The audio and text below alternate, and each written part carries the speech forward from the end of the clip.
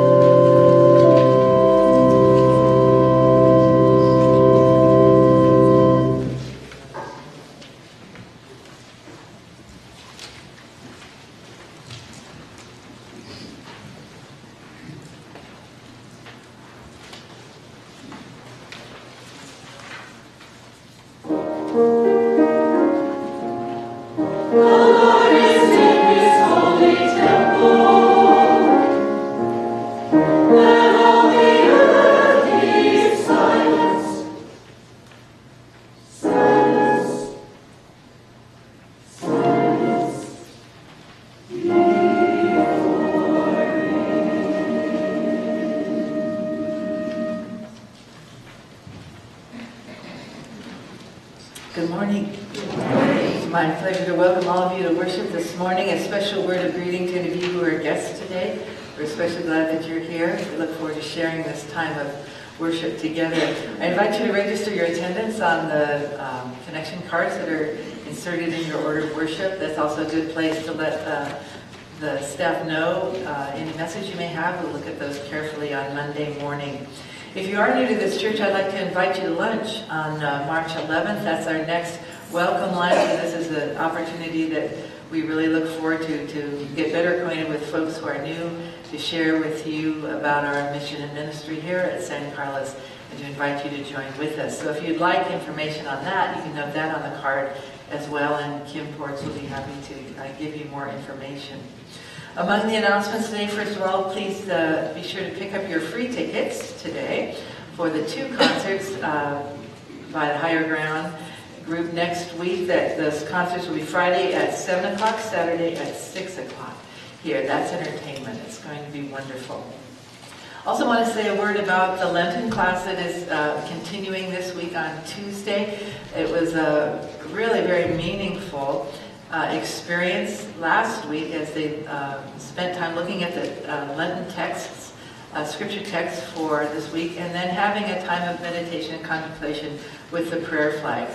Um, that they will that will be offered again this Tuesday. I invite you to do that. Also, a reminder that the sanctuary is open all week. Uh, well, the hours we're here Monday through Thursday. Uh, anytime, and you are invited to come in. Some things that I've, uh, conversations I've had with some people, they found as they look at the prayer flags, um, find one they like, they take a picture of it, and then come and have a time of uh, meditation in the sanctuary uh, seated here. So there are just um, a lot of things that can enhance this opportunity for us to grow ever closer to God on our uh, Lenten journeys. It's my real joy to welcome uh, my father, Reverend Mark Trotter, as our preacher today. We're very glad to you here.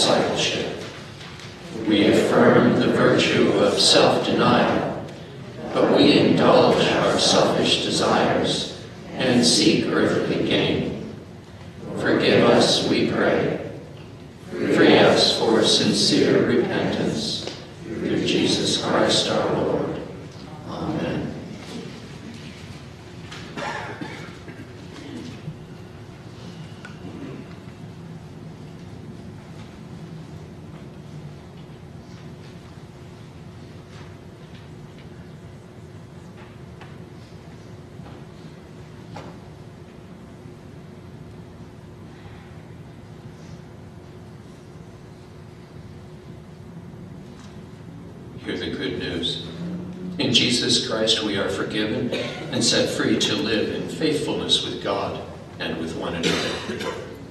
Thanks be to God.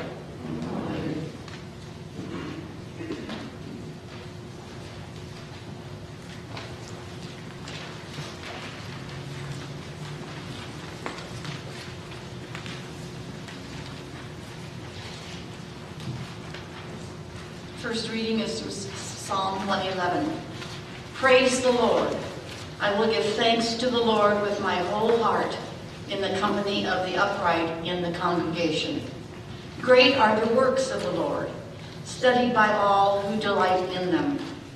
Full of honor and majesty is his work, and his righteousness endures forever. He has gained renown by his wonderful deeds. The Lord is grace, gracious and merciful. He provides food for those who fear him. He is ever mindful of his covenant. He has shown his people the power of his works in giving them the heritage of the nations. The works of his hands are faithful and just. All his precepts are trustworthy. They are established forever and ever to be performed with faithfulness and uprightness. He sent redemption to his people. He has commanded his covenant forever. Holy and awesome is his name. The fear of the Lord is the beginning of wisdom. All those who practice it have a good understanding. His praise endures forever.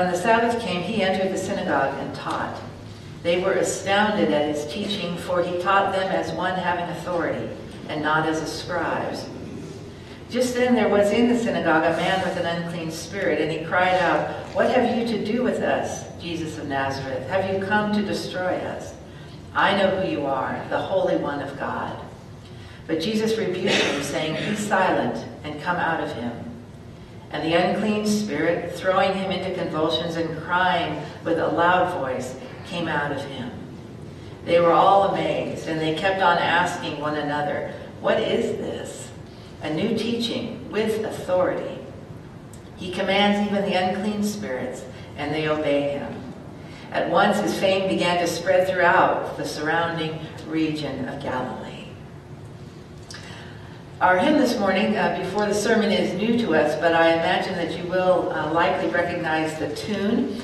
I chose it first and foremost because it, it does go well with the gospel this morning. But this hymn is also a pairing with the period of the title of the sermon this morning, The Exorcist. Um, the Exorcist came in, out in theaters in 1973. The tune of this uh, new hymn was released by the rock group The Animals in 1964. You want to guess what that was? House of the Rising Sun. Uh, so we're going to stand in with all nostalgia, uh, sing this.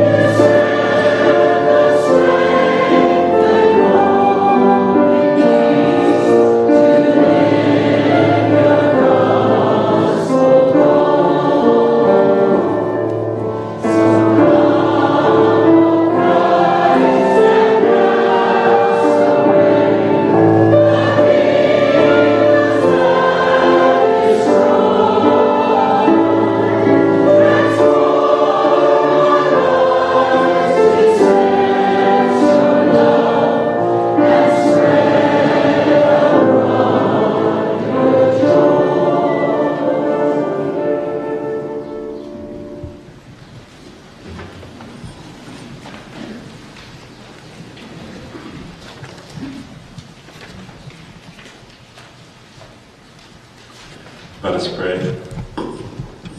Let the words of my mouth and the meditation of our hearts be acceptable in your sight, O Lord, our rock and our Redeemer. Amen. The, the four Gospels, Matthew, Mark, Luke, and John, were written to tell the story of how Jesus came to the world to redeem the world. And if you've read the four Gospels, which I know all of you have, uh, you know that each Gospel tells that story of Jesus a little differently. Uh, for instance, two of the Gospels, Matthew and Luke, open their story with the birth narrative with a Christmas story, uh, but John and Mark do not.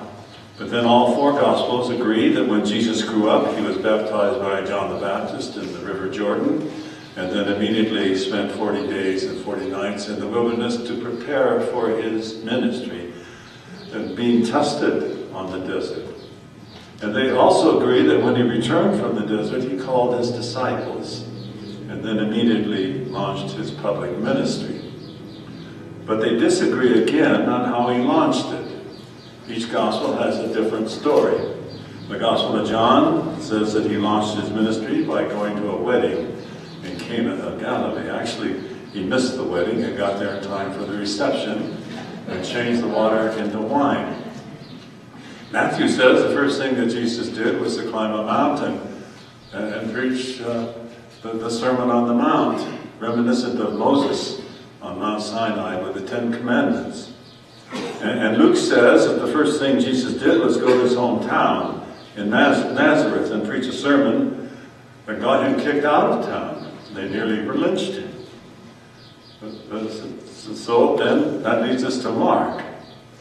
According to Mark, the first thing Jesus did was cast out demons.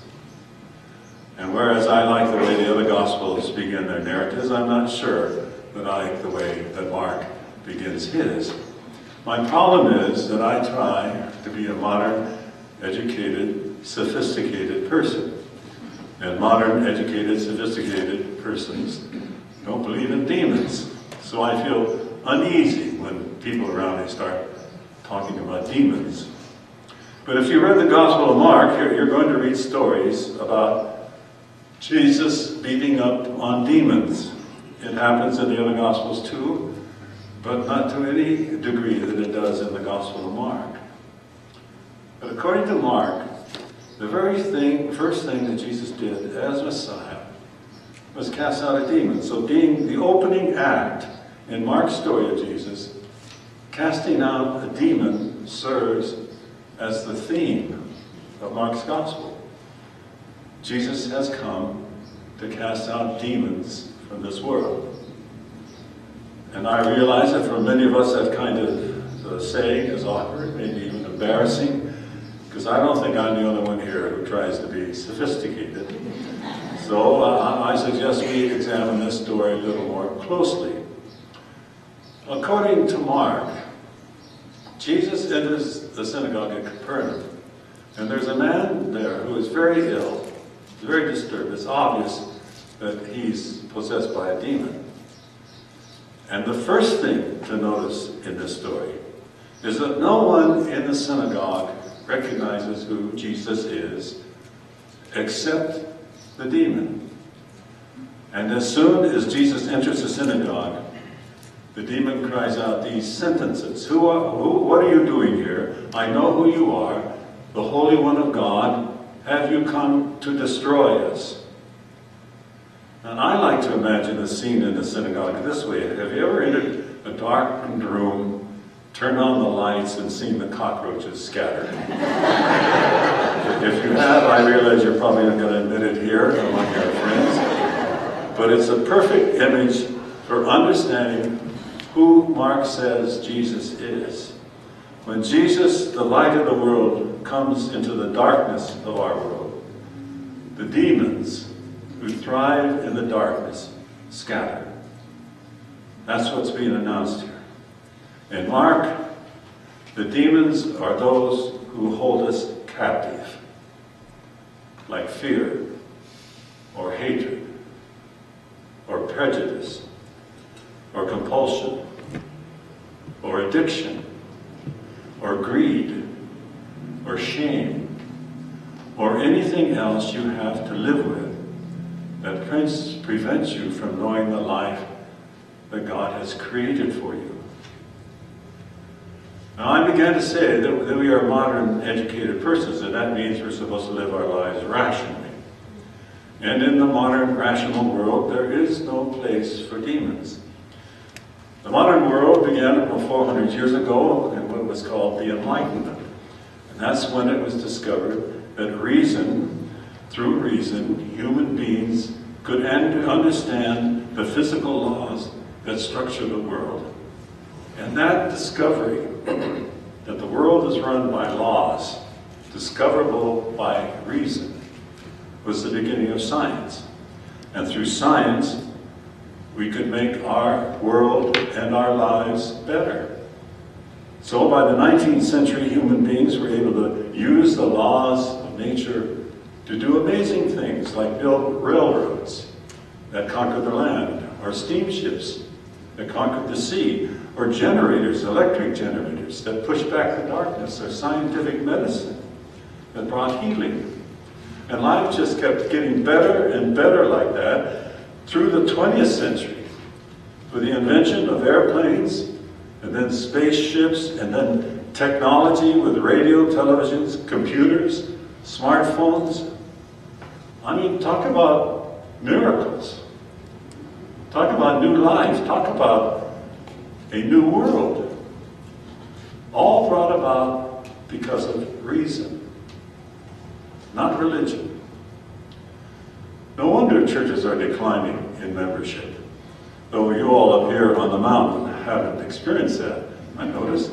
But the world that we live in today, the 21st century, is generally referred to as secular. And to call it secular is to announce the victory of science. Because secular means there is no reality beyond what you can see. What you see is what you get. Which is not a problem for modern men and women because we've conquered the world with reason. We're in control now. There are no more supernatural powers, no more demons, nothing that we cannot conquer. Except in the movies. And there, the demons are all over the place. You notice that? That, that the public entertainment in a scientific age is stories about being attacked by demons. Now, I've never seen so many supernatural evil powers threatening civilization as there are in popular entertainment. And I suspect that I know the reason for it. In spite of science, in spite of the powers of reason, in spite of the triumph of technology, we still see that there are powers that overwhelm the lives of individuals and ruin their lives. Even the most sophisticated people, even the best educated people succumb to powers that destroy their life. Like drugs. We've become a nation addicted to drugs. You know how, how this rational, modern, sophisticated nation explains the drug epidemic? It blames it on Mexico. It says it's their fault. You want to get rid of drugs? Build a wall. Keep those people from bringing in those evil things into our country. You and I know there's only one way to stop the flow of drugs into this country. Stop using them. And if you can't do that, if a nation cannot use reason, weigh the facts, consider the consequences, then there's something greater than reason that has a power over us. We won't blame that on demons, I'm sure. We're too sophisticated. But it's significant that the psychologists, the psychiatrists, the theologians, the philosophers, those who think deeply about the human condition, will use the adjective demonic to indicate a power that can control us and can destroy our lives. There are other demonic powers in our culture, like violence. You watch public entertainment, and the message is very clear. The way you handle conflict is through violence. And that's been a part of the American myth for a long, long time. It was a plot in every cowboy western movie that I saw on Saturday, Saturday matinees in my local theater when I was growing up. Every movie pitted good against evil. And every movie resolved the matter with a duel, with a gun. That's the American narrative. Violence, a gun, always solved the problem. And now in this generation, we don't see many movies about cowboys. Cowboys have been replaced with action heroes, they're called, who beat up people, blow them up, zap them, disintegrate them. We watch movies where men and women use automatic weapons to kill scores, even hundreds of people, or to kill alien creatures. And we call that entertainment. And then periodically, too often nowadays, someone enters a school or a theater or a church or a rock concert and imitates what he sees heroes do on the screen. We were all appalled again last week for what happened in Florida. But I read that there have been 18 school shootings this year. If we can't control violence in our society, if we can't build a better way to live, then violence has become bigger than we can handle. It's become demonic. The latest national scandal is sexual harassment. The fact is that our culture is saturated with sex, even with pornography. It's everywhere. It's now available to everyone, even if you don't want to see it. It's there. The evil of pornography is that it portrays women as objects for men to dominate. So is it any wonder that in the workplace and in society as a whole, that women are not treated with the dignity that God gave them in their creation?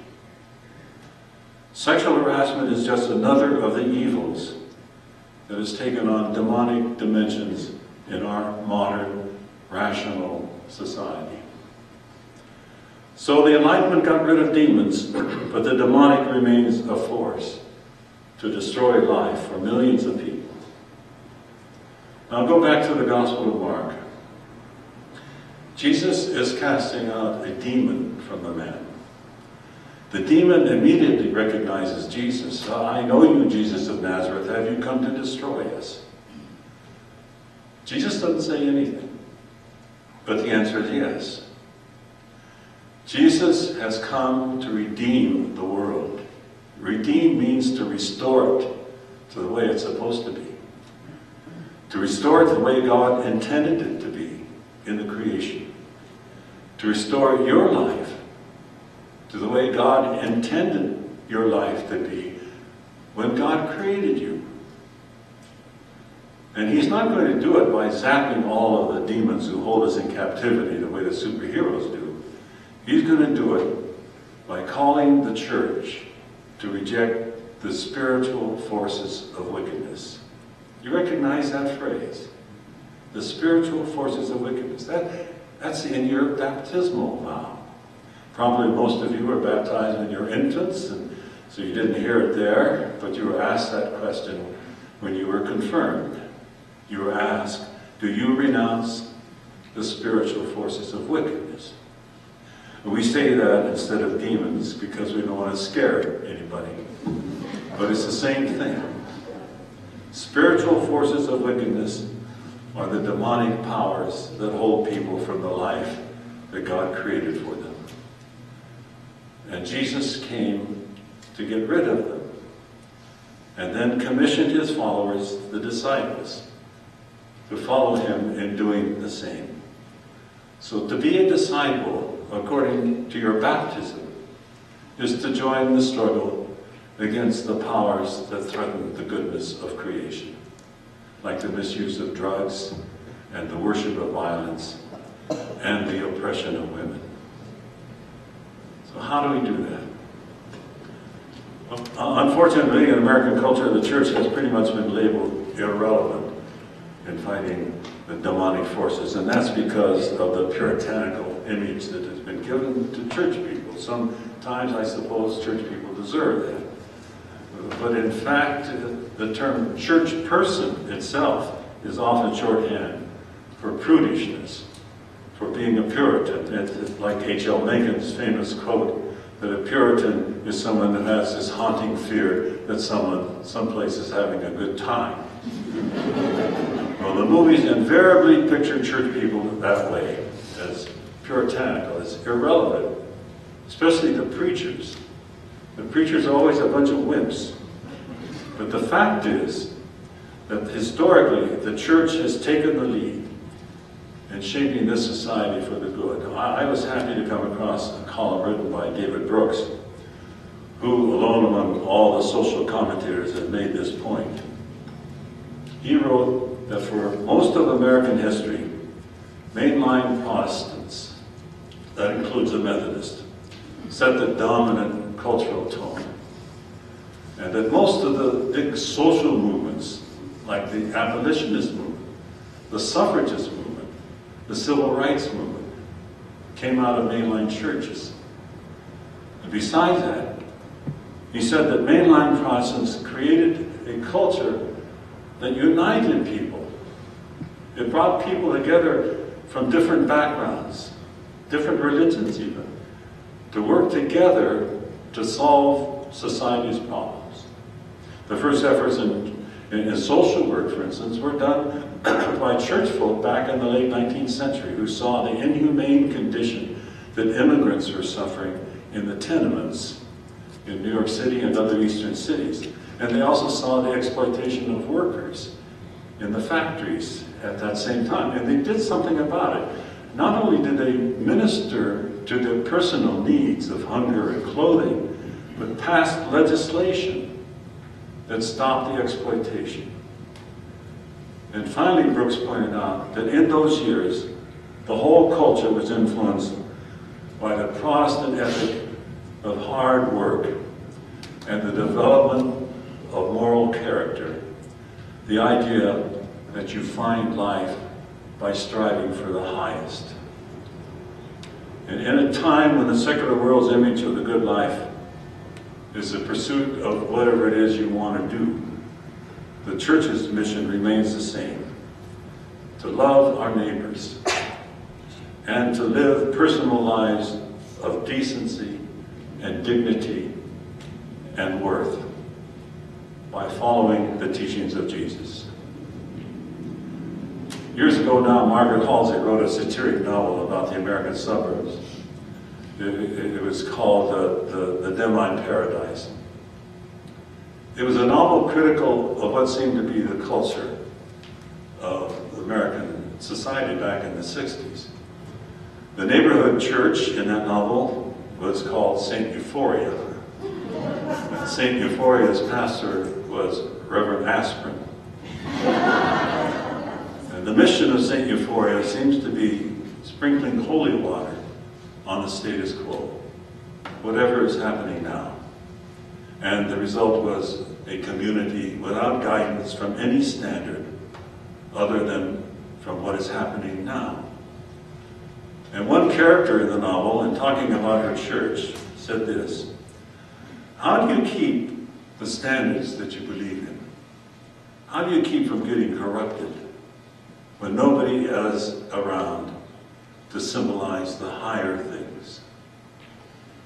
Well, in this world with demonic powers that destroy the goodness of life for so many people, the mission of the church is the same as it was in the first century. We renounce the evil powers of this world and pledge our allegiance to the highest that we know, to Christ and his kingdom.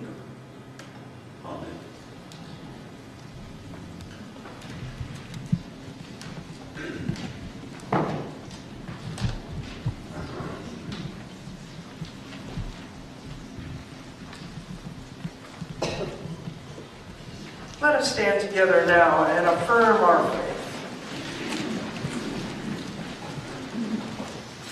We believe in you, O God, eternal Spirit,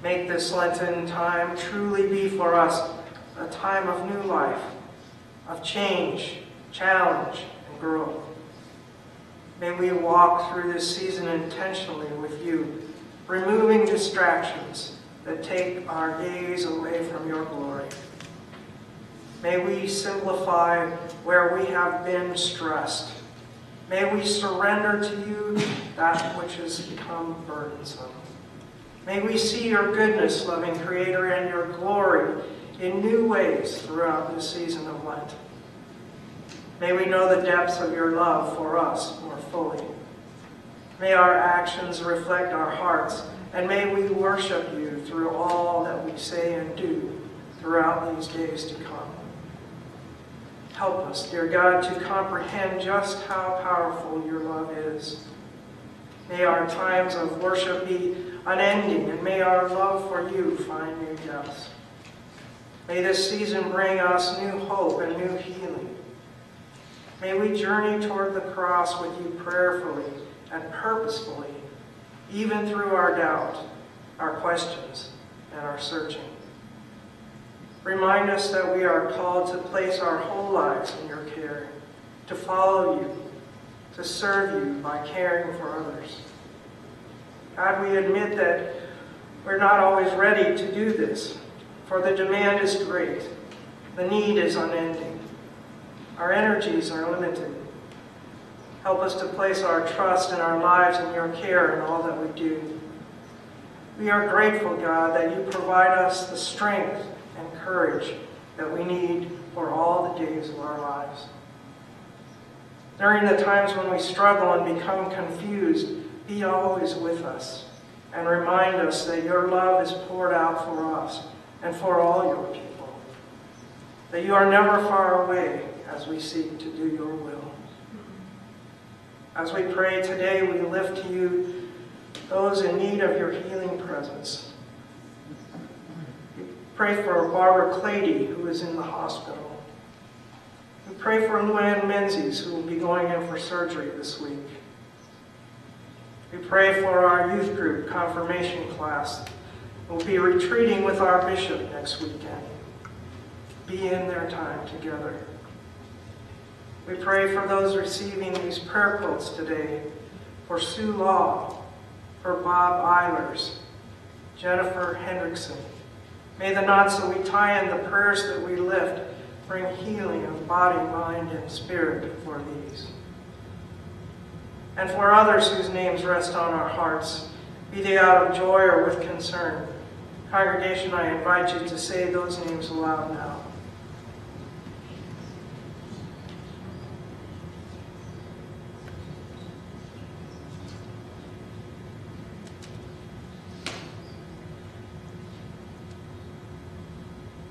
God, hear our prayers, for you are our presence and power. Forever be with us as we journey with you. Help us to make a commitment of our lives, our spirits, our hearts, to be in ministry for you.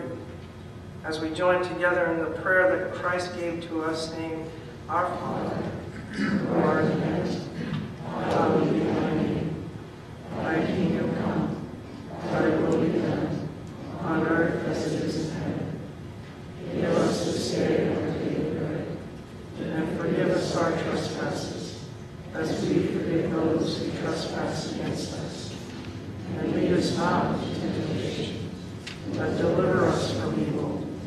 For thine is the kingdom, and the power, and the glory forever. Now in this time, let us give of ourselves and our resources to the works of an awesome God. Will the others please come forward to collect our gifts and tithes?